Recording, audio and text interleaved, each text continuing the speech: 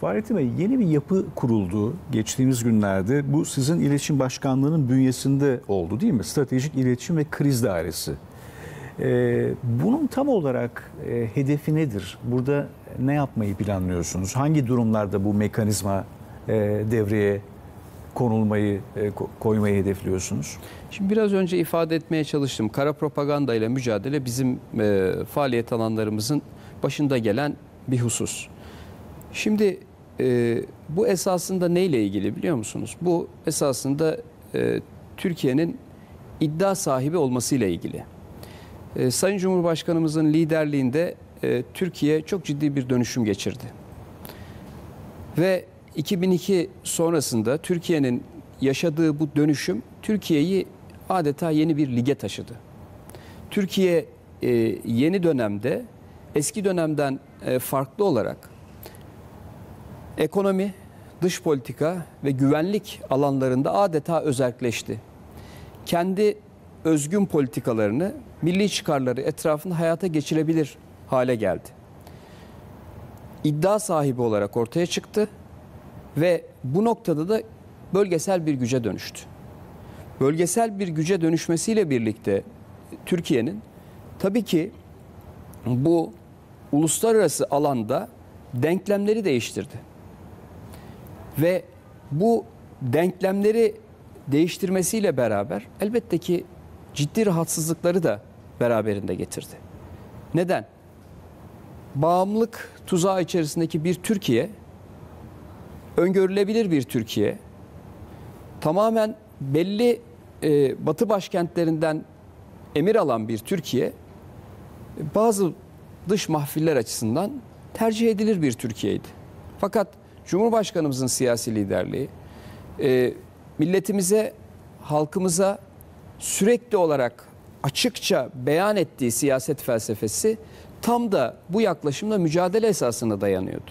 Ve bu yaklaşımla mücadele ede ede, kavga ede ede e, Sayın Cumhurbaşkanımızın siyaset felsefesi adeta galip geldi ve bu anlamda Türkiye bir yandan ifade ettiğim gibi ekonomide, bir yandan dış politikada, bir yandan güvenlik politikalarında bir özelleşme yaşadı.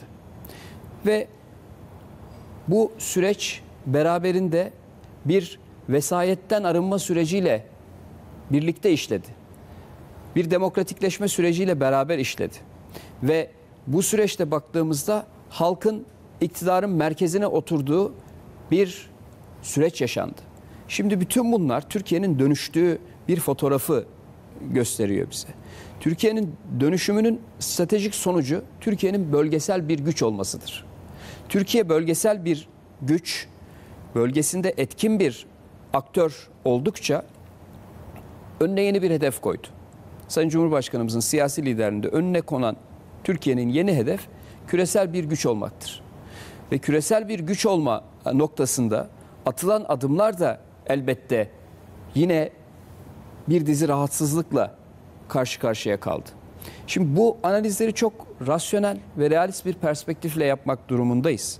Çünkü eğer siz bir güç mücadelesine giriyorsanız, eğer siz bu mücadelede ben de varım diyorsanız birilerinin size hiç e, adım atmadan, herhangi bir şekilde mücadele vermeden tabi buyurun gelin siz de e, buraya baş köşeye oturun demesini beklememelisiniz. Burada bir mücadele süreci söz konusudur ve bu mücadele sürecini biz nerede gördük? Açık ve net bir şekilde Türkiye'nin önüne konmaya çalışılan engellerde gördük.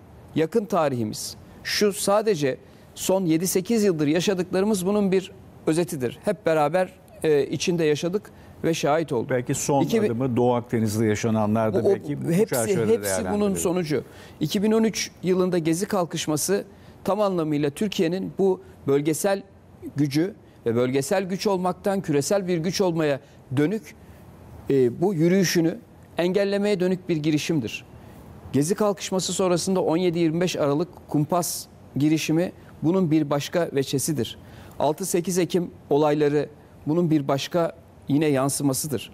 Benzer şekilde DAEŞ'ın, PKK'nın, Fethullahçı terör örgütünün hepsinin bir araya gelerek oryantasyonları farklı terör örgütlerinin bir araya gelerek ortak hareket edip de Türkiye'de ardı ardına terör faaliyetlerine girmesi bunun bir başka yansımasıdır.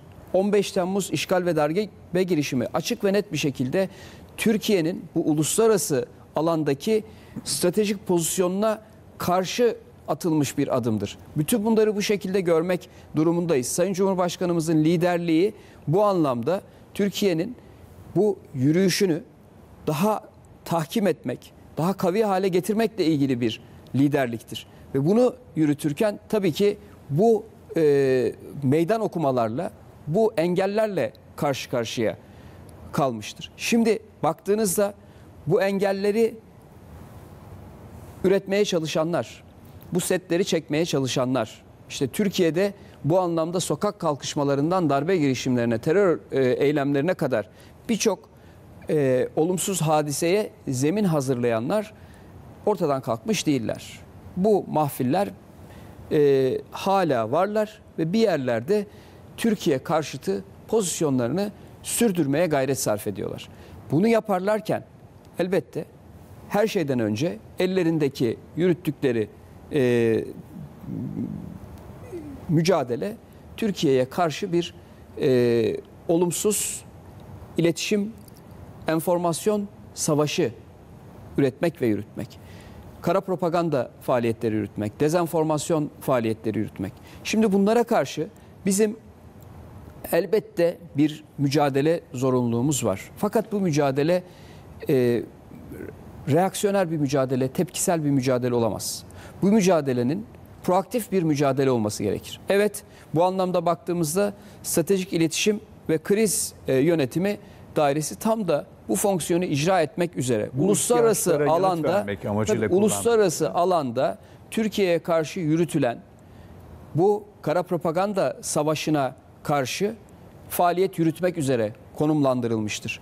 Ve aynı şekilde bu kara propaganda faaliyetlerini yürütenlerin bu anlamda e, işbirlikçilerinin net olarak teşhis edilmesi ve işbirlikçileriyle devlet adına, halk adına mücadele edilmesi için kurulmuş bir yapıdır.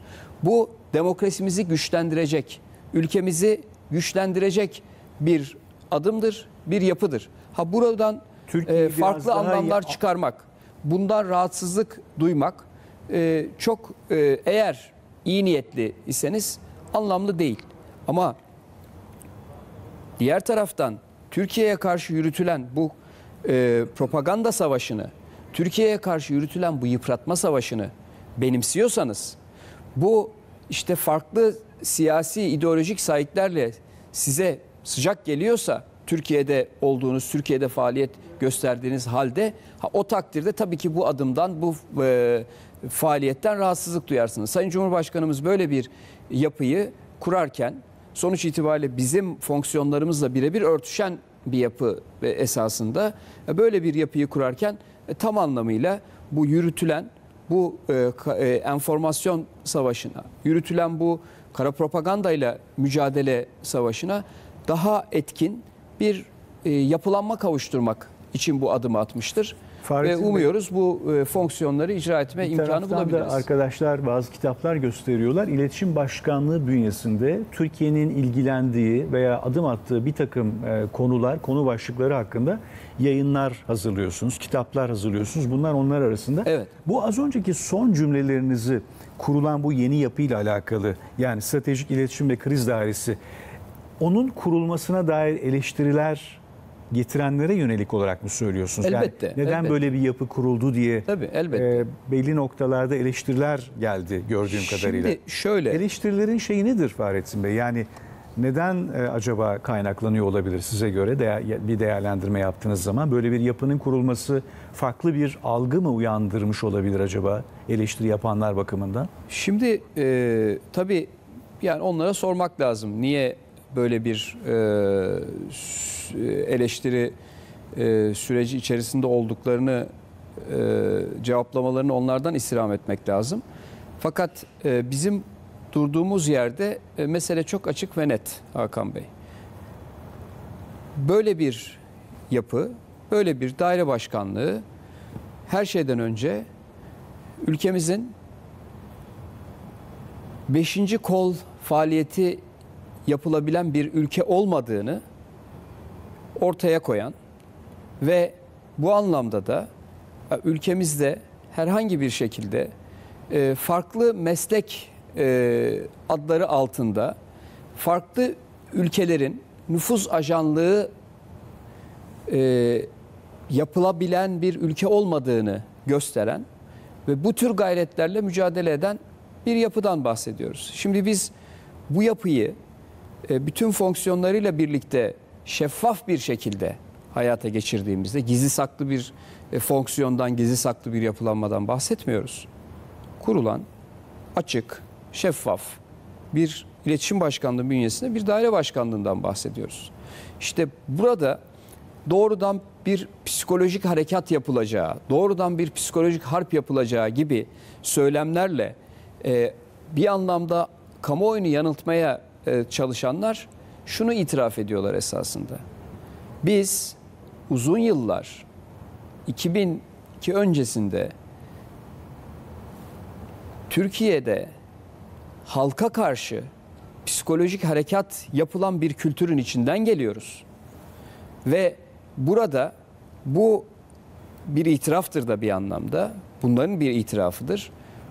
Bu psikolojik harekat kültürü yani dev, bir dönem devletin halka karşı yaptığı bu e, kültür bu dönemde yeniden gündeme geliyor diye bir e, iddiada bulunuyorlar. Bunun böyle olmadığını kendileri de pekala çok açık ve net bir şekilde biliyorlar.